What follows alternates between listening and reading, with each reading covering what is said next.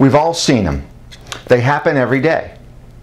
Car versus truck, and the truck usually wins. In today's world, more 18 wheelers are on the road just to deliver the things we need in life. Now, I've had a chance to talk with some over the road truck drivers, and what they tell me is the best way to avoid an accident with an 18 wheeler is to maintain space.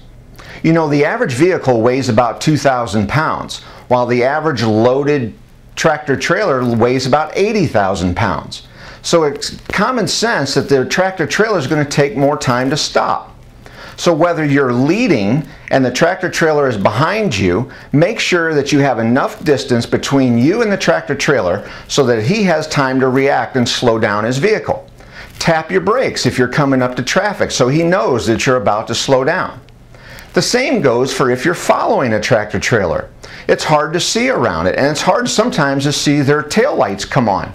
So make sure that you're maintaining a safe distance from behind the tractor trailer so that you can see if he makes any sudden stops.